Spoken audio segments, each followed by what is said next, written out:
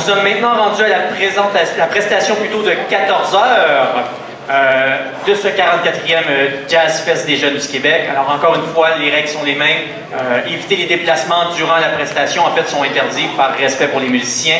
Également, éteindre tout appareil électronique, donc cellulaire, padget, etc., etc. Vous pourrez vous déplacer seulement entre les pièces de façon euh, discrète, s'il vous plaît. Et je vous rappelle, le spectacle de clôture à 17h au gymnase, où nous sommes fiers de présenter le Funky Group, mettant en vedette notre personnalité hommage 2023, Monsieur Jocelyn Couture. Les juges pour cette euh, prestation de 14h, Monsieur Jean Fréchette à l'audio et Monsieur Michel Lambert aux commentaires écrits.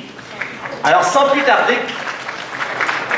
le Drummond Big est fier de participer encore au Jazz Fest cette année. L'orchestre communautaire vous présente les pièces suivantes. Birdland, c'est un shuffle de musique de Joe Zainful, les arrangements de Mark Taylor, soliste aujourd'hui Paul Pontbriand au saxophone soprano. Closely Dancing, une balade latine, une composition d'Arturo Sandoval, les arrangements d'Ed Calais, et soliste aujourd'hui François Boutin au euh, Si je le dis bien, je pense que c'est ça.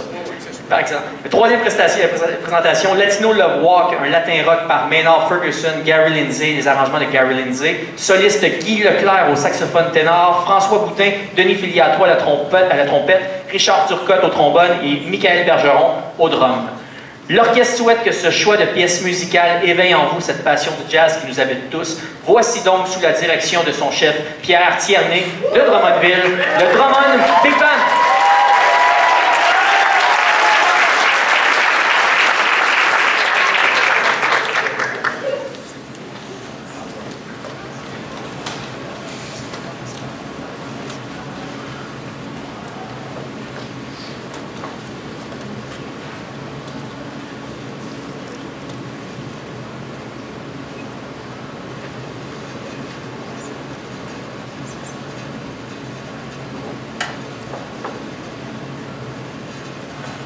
and the and the podcast.